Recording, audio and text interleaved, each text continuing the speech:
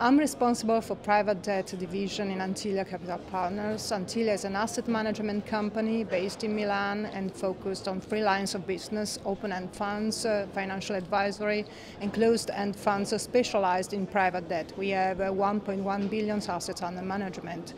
We pioneered the private debt in Italy. We've been in that market since its inception in 2013.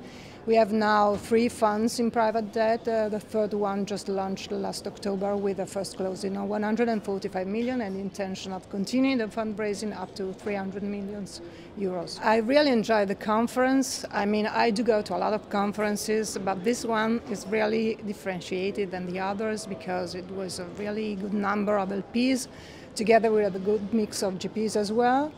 It's a very distinctive conference in, a, in, an environment which is very friendly. There was the possibility to talk to people in a very uh, personal way, which is ideal for networking. The fundamental idea, opportunity behind private credit is that uh, there is a, um, a, situation in which uh, the, the, supply for credit is reducing coming from banks, while on the other hand, uh, companies are continuing asking for creditors. So uh, this is the space where uh, the sizable funding gap which is created by this situation in which private debt operators are stepping in. We don't expect those trends to change in the future. They will increase or even accelerate. So I expect that the market will continue growing as it happens in the past.